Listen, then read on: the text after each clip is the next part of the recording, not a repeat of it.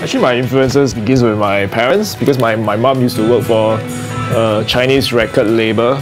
My dad passed some of his records to me when I growing up, so I was really literally listen to like disco, soul, Motown, that kind of stuff.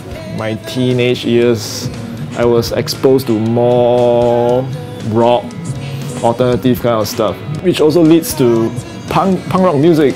And somehow or rather, it leads to the skate culture. I'm just gonna put out a playlist that I grew up with, but maybe more of the, the more mellow side of it, not so much of angst and stuff.